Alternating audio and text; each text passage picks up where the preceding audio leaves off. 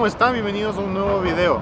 Esta vez como podrán ver nos encontramos en el puente del Chiche, un puente demasiado nombrado aquí en Ecuador y en el exterior también, ¿no? Por las personas que se logran enterar de la situación que es este. Como ya muchos de ustedes sabrán, este puente es demasiado tétrico, se podría decir.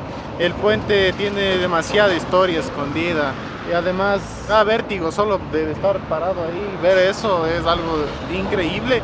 Tiene demasiados años del puente se encuentra en mal estado. Eh, no puedes pasar por ahí caminando porque ya está oxidado y como podrán ver el clima inclusive está lloviendo el primer puente construido aquí fue en el año nada más y nada menos de 1940, el cual se utilizaba para la herradura, ¿no? Fue hecho únicamente de palos y de piedras. Y este es el que se construyó en el año de 1970.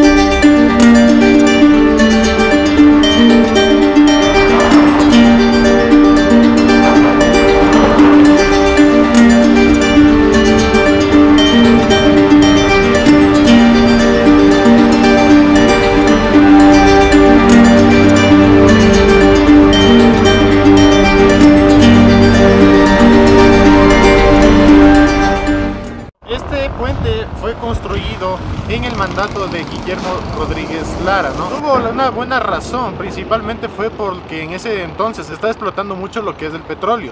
Vieron la necesidad de conectarse con el oriente ecuatoriano. Entonces esa fue una de las principales ideas de construir el puente del río Chiche se lo conoce como el puente de los suicidas. ¿Por qué? Porque ya la historia, como ya, ya más o menos ya van a conocer las personas que ubican este puente, a quitarse la vida eh, muy muy seguido, ¿no? Por diferentes circunstancias. Inclusive lo que es del ambiente estando aquí se siente un poco pesado.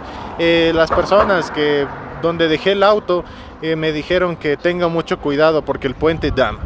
¿Qué quieren decir eso? Es fácil de entender. Además, tenemos lo que es en la parte de allá, el puente eh, del Chiche, que se podría decir que es un poco más moderno, ¿no? Que está en mejores condiciones que este y conecta lo que es Quito con Tabaverla de una forma más eficaz. Y fue construido en el mandato del expresidente Rafael Correa en el año del 2013.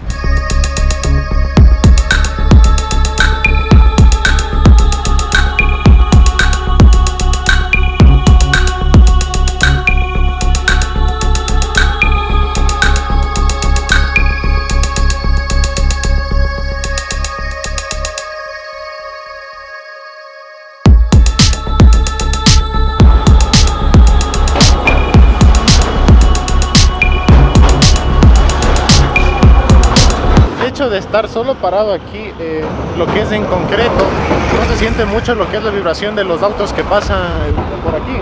Si tú ya caminas un poco y vas ya aumentando para allá y te paras en lo que es ya el puente en sí, se siente una vibración súper, súper, súper fuerte de lo que pasan los autos.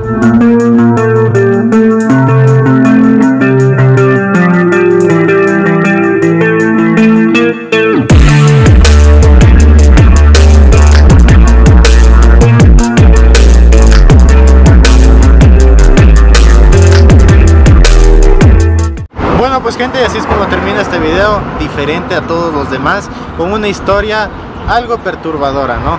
Entonces, sin nada más que decir, no olviden que solo se vive una vez.